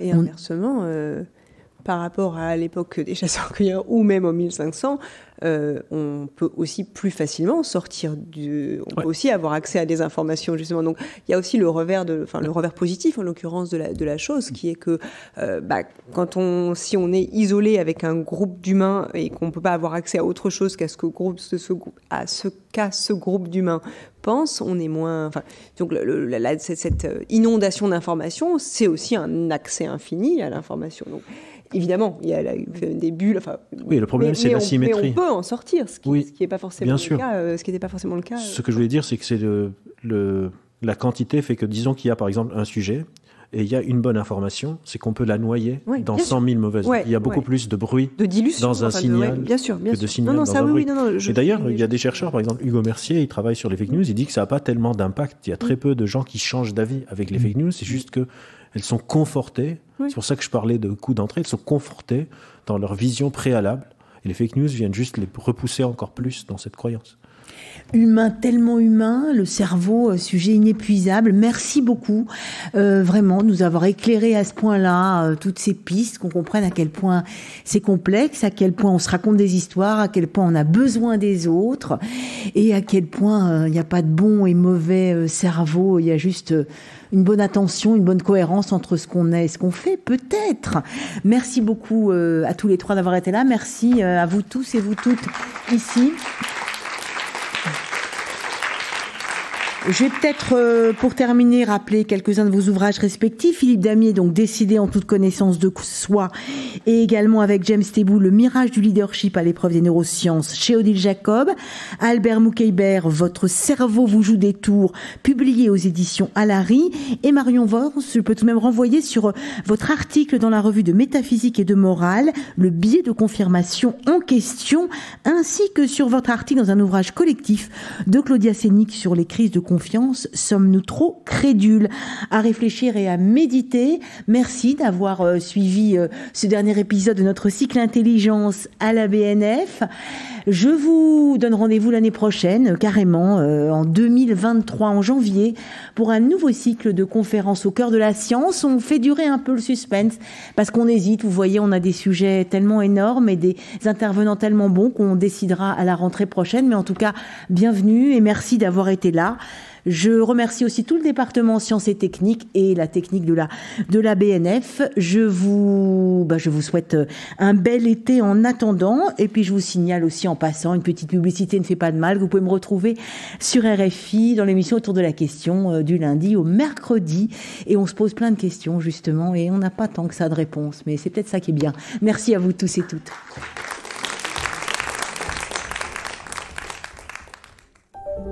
Vous venez d'écouter un podcast de la Bibliothèque nationale de France.